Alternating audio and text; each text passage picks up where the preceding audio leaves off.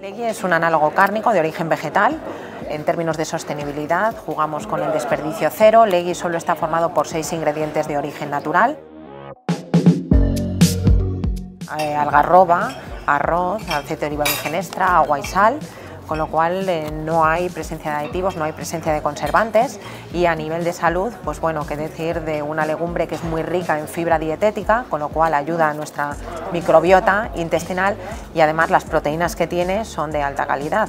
También se puede decir que es un ingrediente muy versátil en cocina, se utiliza como una carne picada, infinidad de platos y elaboraciones de la gastronomía española, principalmente que es muy rica, pero es que además no tiene notas vegetales. Y resaltar que la algarroba no es alergénica con lo cual este producto es apto para todo el mundo.